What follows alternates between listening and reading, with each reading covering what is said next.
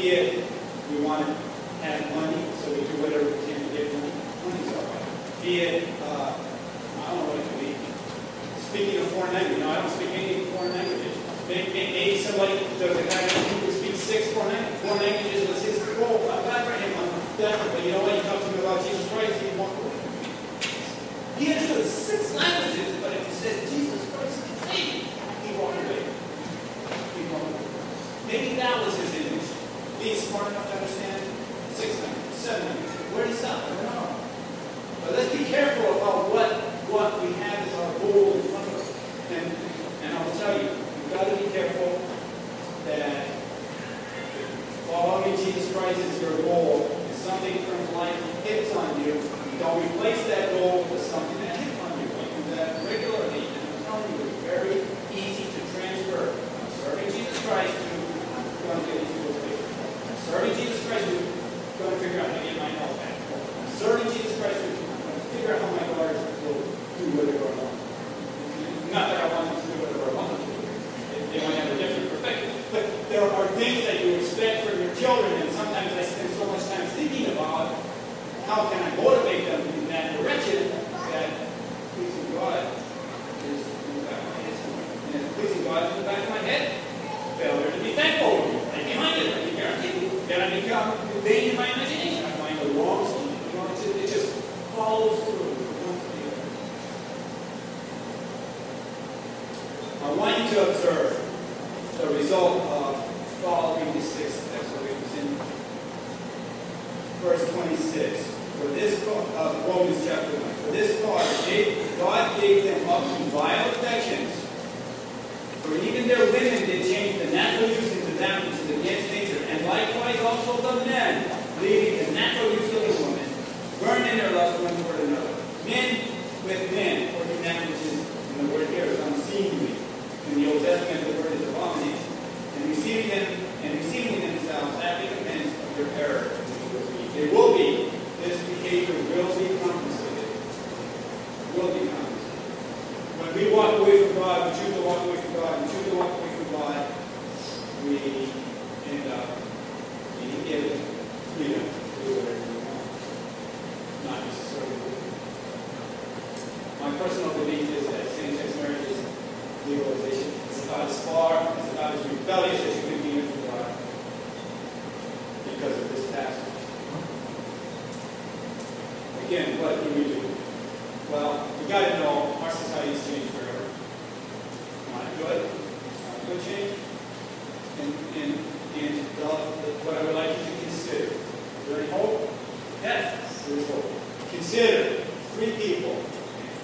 Jeremiah, Baruch, and the Ethiopian man.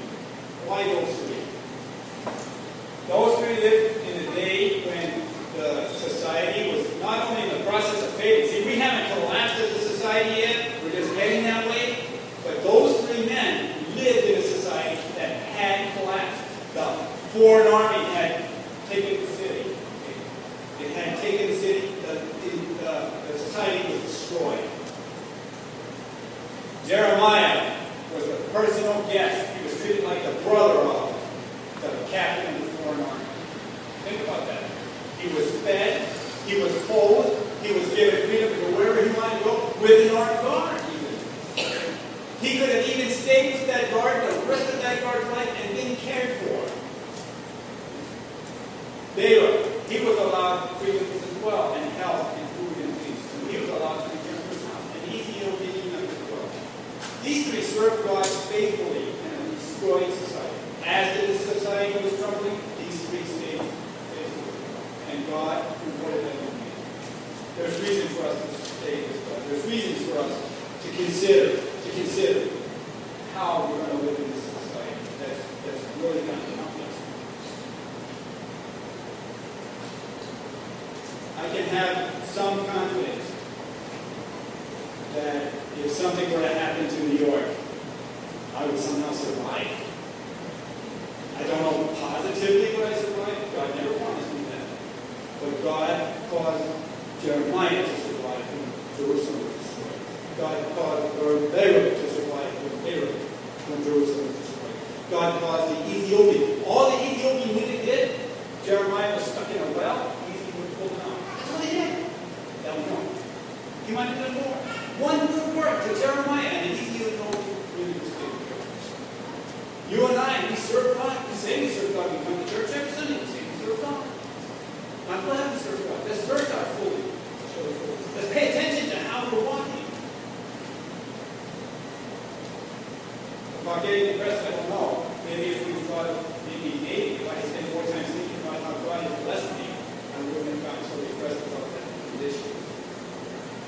Maybe if I had my thoughts more order, I wouldn't have gotten so. Maybe if I had been more thankful, I would have gotten more crazy instead of depressed. That was a very much different experience for me. We are, we are living in a very different I don't, I honestly don't know how my to survive. And please God, except by the power of God. But I can have confidence. Is saved person. God is taking care of me. You're a saved person. God is taking care of you. The trick, the, uh, not trick, the idea is to stay faithful to what He's doing in our lives. What He's doing in our lives. The society around us crumble. but it's still standing. And again, I recommend to you monitoring your thinking. Edwin would recommend to you monitor your, thinking, and he's right too. Monitor yourself. How are you doing it? It. And don't be afraid to tell people. Thank God when that when that confrontation happened between my friend and I. I didn't use the word abomination. I just told him God's not pleased with it. And I started the conversation. We need God to help us deal with these issues. And I encourage you, if you don't know about Baruch and Jeremiah and the Ethiopian eunuch, you read about them. Blessing. A blessing. God has a blessing for us. He has a blessing for us. If you're not saved you're not saved this morning, maybe you're one that denies there is a God. Maybe you want to be one of the 85% of intelligent people that says there is no God. Think about the possibility. There is one. Maybe you're one of the ones that whose life you don't see why you should be thankful. You should be thankful. You don't have to believe me, just try being thankful. Maybe you're one of the ones that is thinking something else is Lord worthy of your glory beside God. And you gain imagination for it. Maybe your heart doesn't understand. If your heart doesn't understand, you need to pray out to God.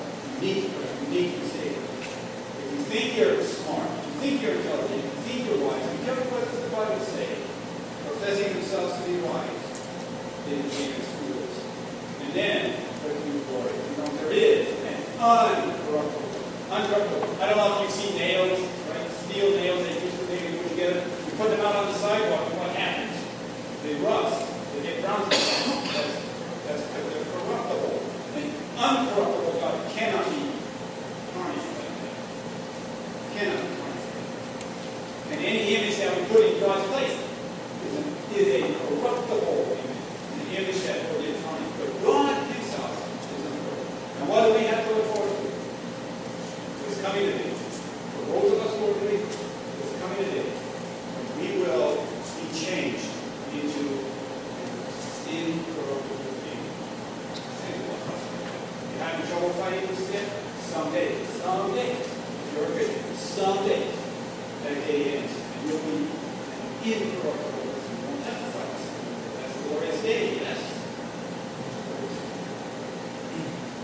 Heavenly Father, we thank you for this morning.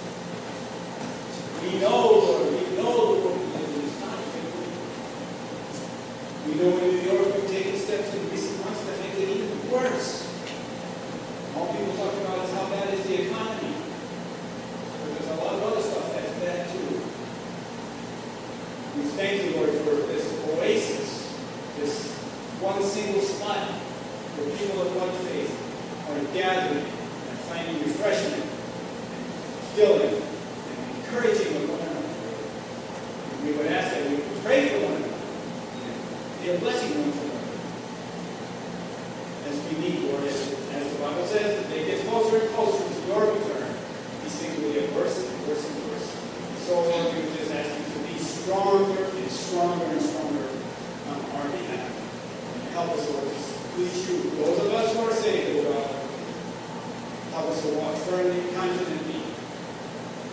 Help us to speak to these issues when opportunity arises.